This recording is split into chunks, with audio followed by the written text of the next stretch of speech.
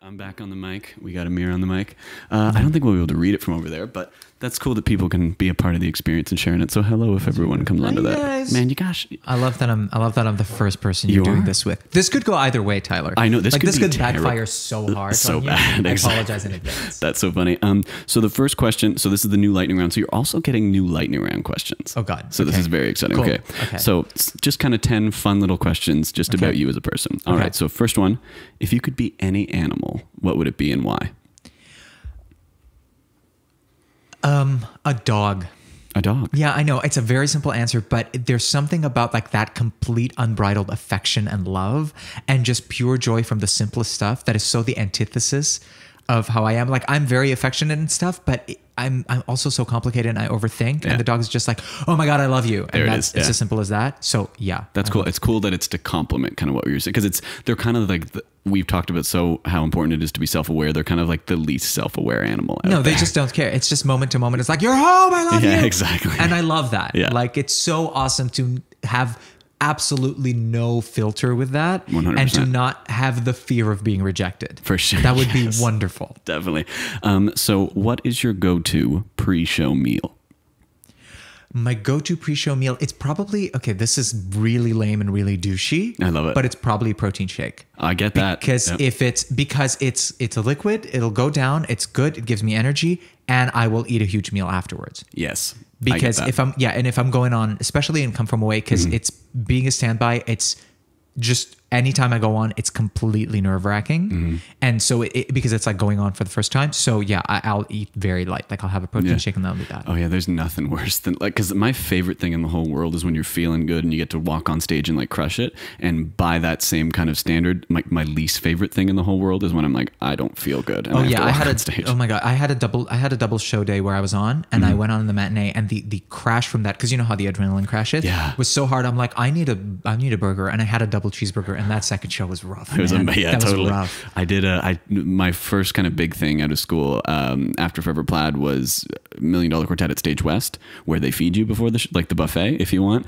Come on. Whoa! Yeah. Those first couple days, I was like, uh oh. That's yeah, that's rough. yeah, for sure. Um, so now this is a quick one, just kind of whatever happens. Mm-hmm. What are the first lyrics that come to your head from anything? Sitting on the dock of the bay. Okay. That's really I don't know why. Yeah, exactly. I don't know why. I'm excited yeah, about this that's what it question. Yeah, Otis someone sent it in, and I was like, okay, that's a cool one though. Yeah. Um, if you could have any superpower, what would it be and why? Wait to fly.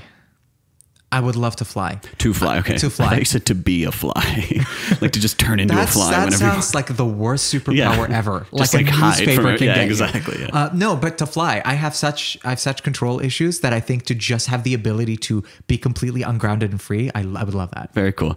Um, so, movie you think you could come the closest to reciting every word? Clue.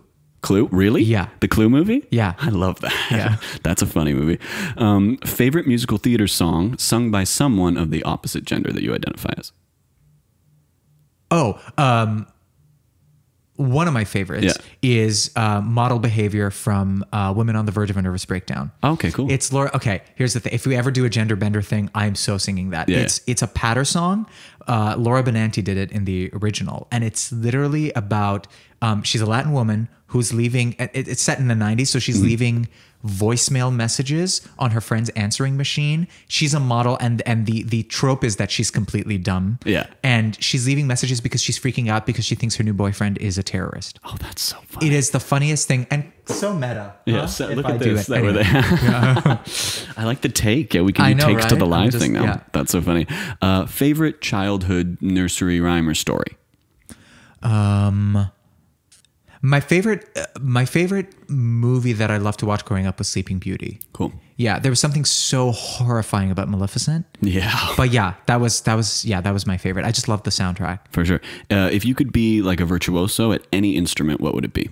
The cello. Yeah. Ooh, yeah. You know what I mean? That's like the sexiest It's instrument. so cool. Yeah. Yeah. Anyone who plays the cello, it's so cool. And it's in that world where it's it can still fiddle a little bit, but it also has that big bassy Totally. stuff. And Yeah. just yeah, you bring a cello into any musical number and I'm in tears. Bring it on. Yeah, totally. Uh, if you could have lunch with one person, who would it be and why?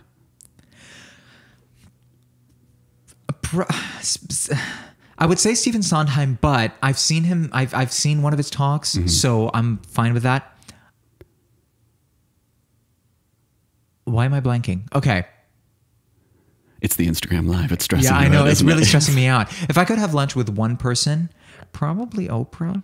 Yeah. No, Yeah, because like because there's something there's something to be said of oh, no okay I know who my answer is I know who my answer is Oprah's gone. uh, no Oprah's gone Dr. Brené Brown Okay. that's who I'd have lunch with she's um, a doctor of social work she's she gave a TED talk that like went viral about vulnerability and shame and empathy and all of that stuff Cool. and her take on that really changed my life look her up when you get the chance Yeah, Dr. Brené Okay. Brown so it's like Renee with a B at the, at the beginning of it Cool. Dr. Brené Brown, um, the way she she talked about vulnerability and shame and stuff like that really changed how I view things. So I want to have lunch with her. Very cool. I love that. Well, if she's listening, that's perfect.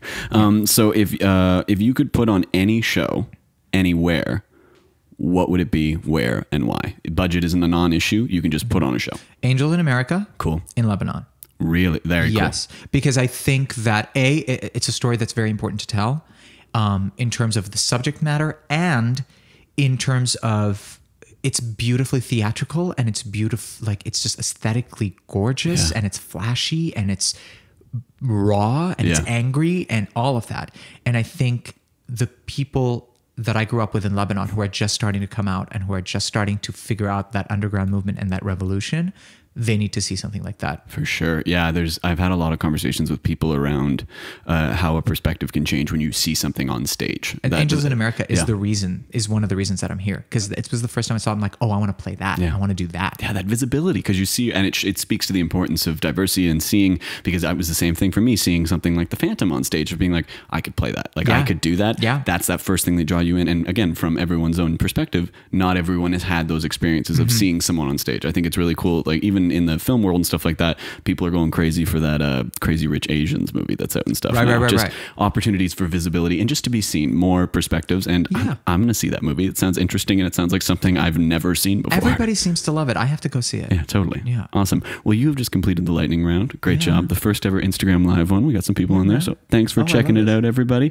Make sure any of the questions that we put on, uh, that we just answered, I want to hear your answers too on there. So, Yeah, I uh, want to know. Where do you want to put on your show? yeah, what show do you want to put on, where, and why? Let's hear it. So I'm going to go shut that off and then we'll get back. We'll start after that, Pantos, and then come from away. We'll hit it like that. Awesome. I love it.